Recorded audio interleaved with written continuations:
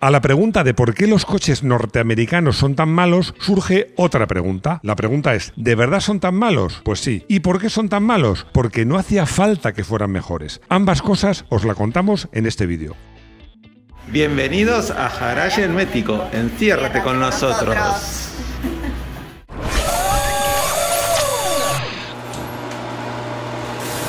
Esta vez no voy a comenzar por el principio. No te puedo creer. Voy a comenzar por una vivencia personal, no me atrevo a llamarlo anécdota, de la que aprendí mucho. Recuerdo, y os lo voy a contar, mi primer salón de Detroit. El salón de Detroit que fue más o menos por los años 90.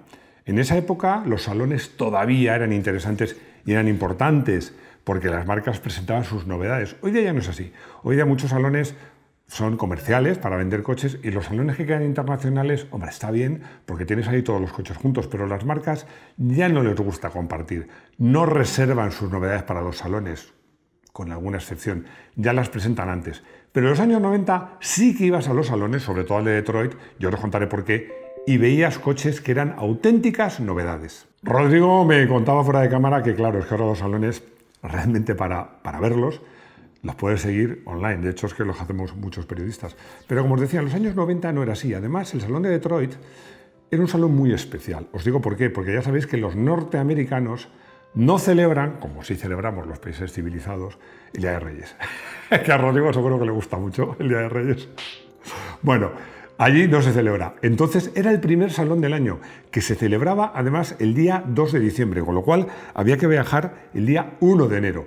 Bueno, a mí me ilusionaba, me ilusionaba mucho ir a Detroit, porque es la cuna del automovilismo norteamericano. Bueno, fuera de cámara, es que yo realmente digo que, había que poner una cámara para grabar el cómo grabamos. Me decía Rodrigo que no en todos los países sudamericanos o, o hispanoamericanos me gusta más o latinoamericanos. ¿Se celebran los reyes? Bueno, contárnoslo, porque yo creía que sí, pero en Chile no. No, no existe, eso no pasa nada. Es que tampoco estáis civilizados. No, todavía una mujer está parado con las flechas, cazando monos. Óxido. ¿Sabéis lo que más me sorprendió? Me llamó mucho la atención, desde el punto de vista del tema del automóvil, la cantidad de coches de marcas norteamericanas fabricados allí mismo en Detroit, oxidados y con una pinta de coches muy, muy aviejados, las puertas, las, las aletas, pero con, con, óxidos que a veces faltaban hasta trozos. Claro, me explicaron, no, es que hace mucho frío, nieva mucho y hay mucho hielo y se echa mucha sal. Digo, ya, pero también la misma sal que para los coches japoneses, coreanos o europeos, la misma. ¿Y no te atacó el óxido a ti? el óxido. Ni me atacaron nadie. Que es una buena pregunta, porque no sé si sabéis, y si no sabéis, aquí está Garaje Hermético para contarlo, que, bueno, es que Detroit está siempre en los puestos de cabeza de las ciudades más peligrosas, no ya de Estados Unidos, sino del mundo. Además, tiene, tiene otro récord, es el casco abandonado más grande de todo el mundo. Vas por allí y hay edificios, rascacielos enteros abandonados. Bueno, es que yo me enteré, que luego lo he comprobado, lo he comprobado de hacer guion, que hay quien puedes comprar en Detroit un apartamento o un piso por un dólar. ¿Por qué? Porque es que están abandonados. Es que muchos de ellos no tienen ni agua, ni luz, ni electricidad, por supuesto, colegios, hospitales, ni nada de eso. No tienen de nada. Realmente, realmente es que, os digo una cosa, impresiona y desde luego, si vas de noche, da miedo. Y os voy a contar una anécdota. Uy, ya estabas tardando, vos había pasado tiempo. Es que eh, me hizo mucha gracia esta anécdota, además con mi mentalidad europea. Bueno, con mi mentalidad de país civilizado, no de europeo. Es que hacía mucho frío, mucho frío. Y cuando fuimos a salir del hotel, iba con un compañero, pues el portero nos cogió del brazo y nos paró y nos dijo, ¿van ustedes preparados? Nosotros, eh, nuestro magnífico inglés, le explicamos que llevamos zapatos buenos, abrigos y tal. Y el tío nos miró como diciendo, estos no se enteran. No, no, nos preguntaron, que si van armados. Es que la pregunta, la preocupación era si iban armados. Oye, ¿y por qué no volvemos los coches? Ya muchas armas, mucho delincuencia. Volvamos a los coches, que es lo que nos convoca, ¿no? Vamos a volver a los coches y vamos a dejar Detroit, o por lo menos el casco abandonado de Detroit. Y os vuelvo a insistir, Estos coches que os digo, no penséis que eran coches viejísimos, con 20, 30 años, no, no, eran coches de 10 años o poco más, que tenían una pinta de coches completamente avejentados, que se caían a trozos. Me llamó tanto la atención que en una cena, pues con un alto ejecutivo, un ingeniero de muy alto rango de Ford, que además era hispano, de origen hispano, y hablaba español perfectamente, iba a decir perfectamente, hablaba español mejor que yo, perfectamente, pues, como digo, tuvo una cena muy agradable y me lo contó con todo detalle. Y os lo voy a contar yo a vosotros. Un poco de historia. Y como hacemos en este canal, pues este ingeniero empezó, comenzó la historia por el principio. Y el principio es muy sencillo. Me contó lo primero que el automovilismo, la forma de entender el automóvil y todo lo que le rodea, en Estados Unidos, por su historia, por cómo empezó allí, es muy, muy distinta a cómo se ha vivido el automovilismo en otros países, incluso del mismo continente, y desde luego muy distinto a cómo se ha vivido los comienzos del automovilismo en Europa o en Japón. El automóvil en los Estados Unidos de Norteamérica realmente no llegó antes, pero sí se democratizó y se popularizó mucho antes en ese continente que en Europa, gracias sobre todo a un modelo que, como podéis suponer, es el Forte. Es que el Forte y los coches americanos que le sucedieron, lo que buscaban los consumidores era un coche cómodo, práctico, fácil de conducir y sobre todo que fuera barato, muy barato. Y el consumidor americano tiene muy claro lo que quiere. Quiere un coche que sea bueno, confortable y práctico, que eso se traduce, entre otras cosas, y como hay sitio de sobra, en tamaños enormes. Son coches en general mucho más grandes que en otros sitios del mundo. Que sean coches fáciles de conducir. No, a ver, cuando digo que los norteamericanos son torpes conduciendo, es que es verdad, pero es que os recuerdo que el Forte, la gente que lo llevaba, venía de una carreta de caballos. Entonces, y, las distancias son enormes. Realmente en Estados Unidos la idea es que pueda conducir casi cualquiera. Lleva direcciones suavísimas, muy desmultiplicadas, pero yo insisto en un tema muy importante. Sobre todo tenían que ser baratos. Yo os insisto mucho en esto porque este señor me insistía mucho en esto y decía, los Estados Unidos de Norteamérica es el paraíso del consumismo. Lo que se lleva aquí, lo que le gusta a la gente es comprar, comprar, comprar y comprar. Y en el tema del automóvil, lo que le gusta es cambiar de coche con frecuencia. Usar y tirar. Un, consumidor, un comprador norteamericano, prefiere un coche grande, cómodo, confortable, muy bien equipado y, cambiarlo cada poco tiempo. En esto, un americano prefiere un coche así que un coche caro más fiable, mejor construido y que le dure muchos años. Porque es que además, en Estados Unidos los coches envejecen rápido, pero en todos los sentidos. Cuando digo que envejecen rápido me he referido al óxido, pero también a otra cosa. Envejecen mucho el aspecto, porque las marcas norteamericanas, ahora ya un poco menos, pero antes cada año cambiaban la estética del coche. Son los que han inventado los restyling, el model year. El coche era esencialmente el mismo, bueno, en ocasiones, cada X tiempo, no, había cambios más profundos, pero esencialmente era el mismo coche, pero cada año cambiaban por dentro la estética, el equipamiento, por fuera. ¿Para qué? Pues para que el usuario percibiera que el coche de, ese año era nuevo, distinto y le apeteciera cambiar de coche. Fijaos cómo en esto la forma de entender o la forma de convivir con el automóvil es muy distinta en los Estados Unidos de Norteamérica a como era, por ejemplo, o como es y sigue siendo bueno, ahora se han acercado, eh, la verdad, pero como era en Europa o en Japón. Os voy a poner un ejemplo de dos marcas, Mercedes y Toyota. Eran dos marcas que tenían en la fiabilidad pues, pues el objetivo. Y además, por ejemplo, os hablo de caso de Mercedes, que Toyota hacía lo mismo, a pesar de ser japonesa.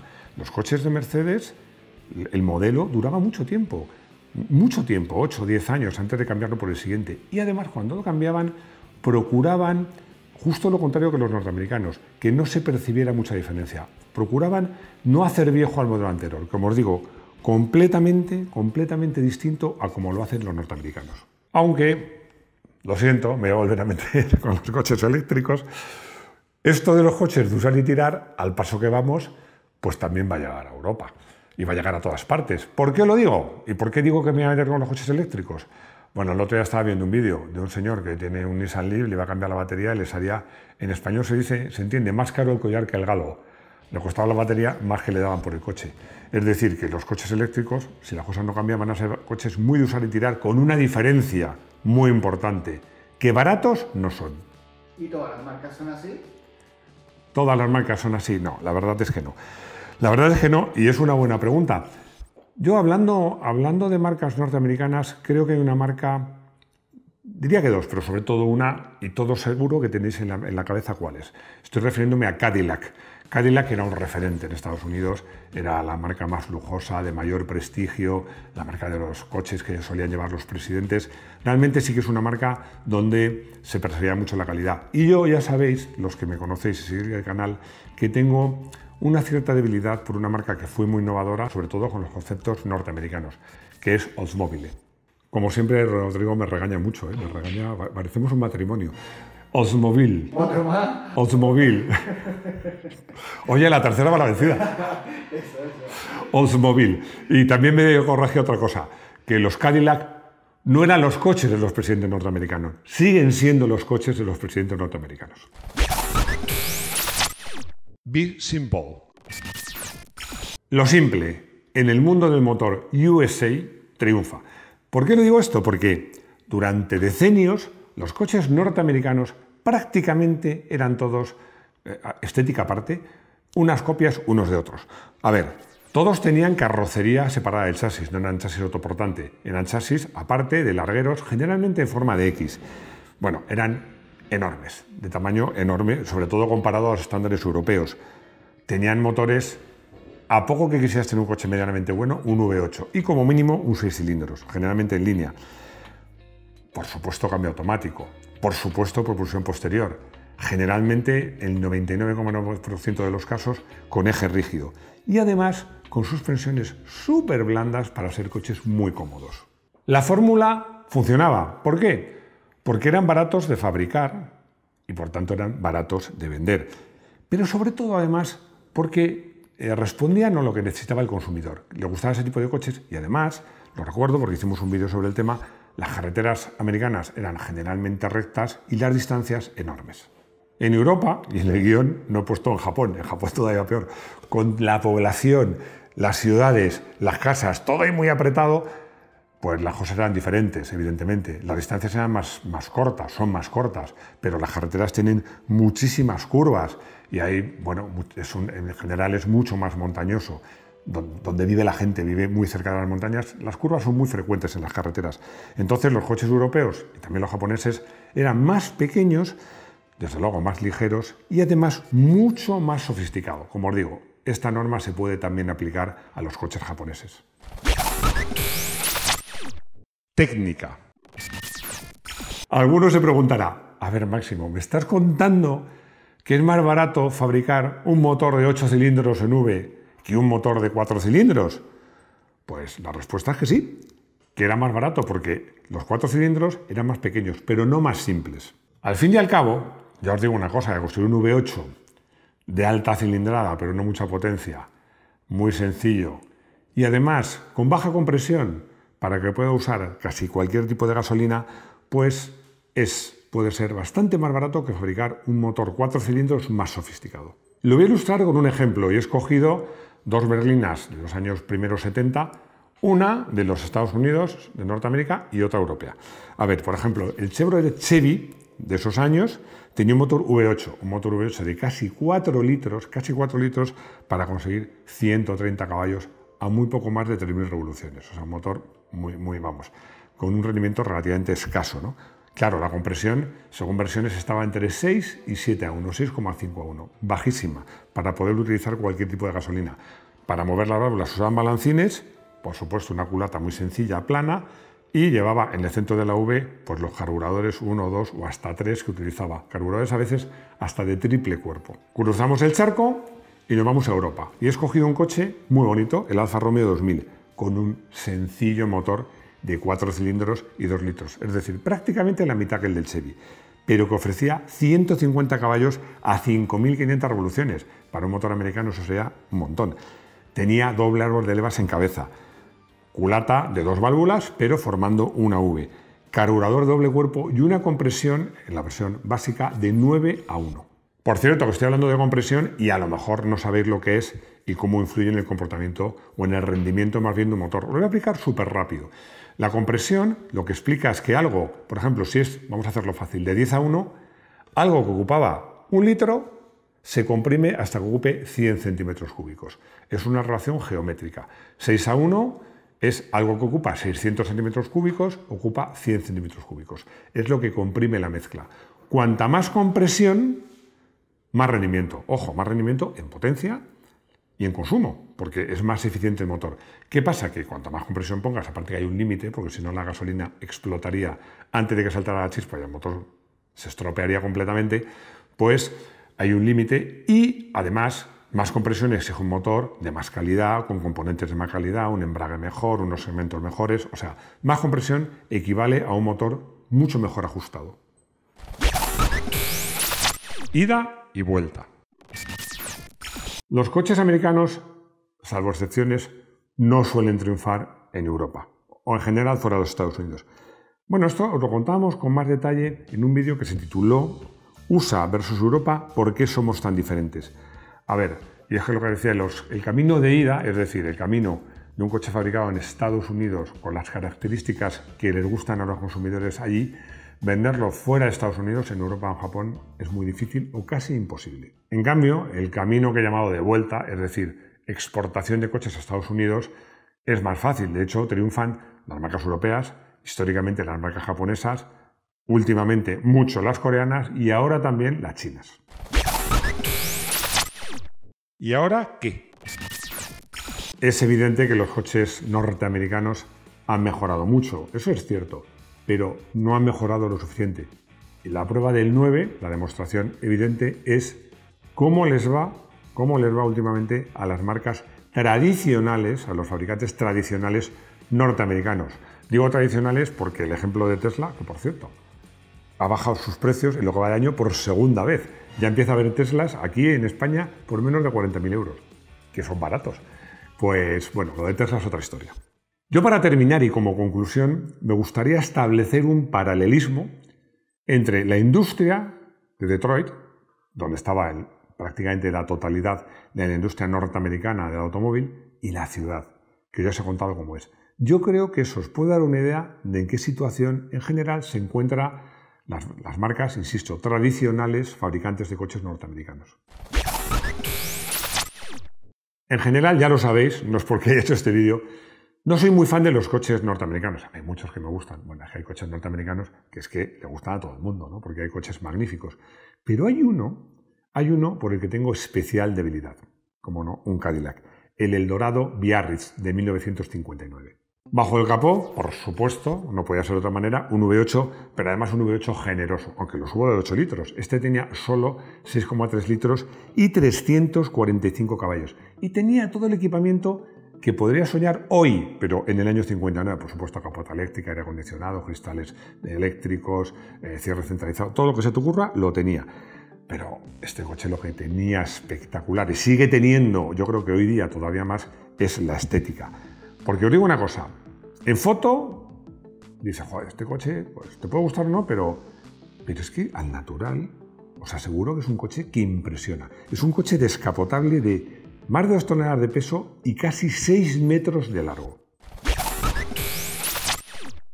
Llegamos al consultorio, que por cierto hace mucho que no decimos ni colutorio, ni, ni locutorio. El que tiene que decirlo eres tú, no yo. Es que perdemos la chispa, perdemos la chispa. Pero bueno, vamos a ver. Eh, Ernest me pregunta si es posible comprar un coche en Estados Unidos y traerlo a España. La respuesta es clarísima. ¿Posible? Sí. ¿Barato? No. Barato no es barato. Porque vamos a ver. Te voy a desglosar más o menos los gastos que vas a tener más importantes. Entre homologaciones, impuestos y tal, calcula un poco menos de 2.000 euros. Luego está el coste de traerlo en barco. Pues claro, no puede venir por carretera. Que depende, bueno, depende de muchas cosas, pero que entre el pasaje en sí y luego otros costes y el almacenamiento en la aduana, porque cuando llega a España, hasta que se haga una serie de, gestiones, el coche tiene que estar en la aduana y te lo cobran. Pues eso puede costar, bueno, y ojo, que lo tengo aquí en el guion porque me llamó la atención, subirlo y bajarlo no lo puedes hacer tú, lo tienen que hacer ellos y también te lo cobran. Con lo cual, pues calculo otros 1.500, 2.000 euros. Así que según el coche, te puede interesar o no. Javier V me pregunta que por qué los coches americanos, norteamericanos, eran tan potentes. Bueno, vamos a ver. Lo primero que te digo es que en realidad tampoco eran tan potentes. Además, también os digo una cosa que no os he dicho en el vídeo, es que hay varios sistemas de medir la potencia. Las normas DIN, que son las que se, utilizan en Europa, son las más duras. Luego había unas normas que llamaban British Horsepower, que eran más blandas, y las normas SAE, que eran todavía, era sin escape, sin un montón de cosas, con lo cual, ojito a esas potencias que anuncian los coches norteamericanos. Lo que tenían era mucho par, motores de mucha cilindrada y no mucha potencia. ¿Por qué? Porque eran coches muy pesados, muy pesados y para mover ese peso, ideal de un motor más que sea muy potente es que tenga mucho par. Bueno, eso ya pasaba, por ejemplo, en el Forte. Ya hemos llegado al final. Mi idea de este vídeo no es que sea polémico, no lo pretendo, porque yo creo que está claro, como os digo, no hay más que ver la, marcha de las, de las empresas norteamericanas. Pero bueno, ya sabéis que me encantan los comentarios.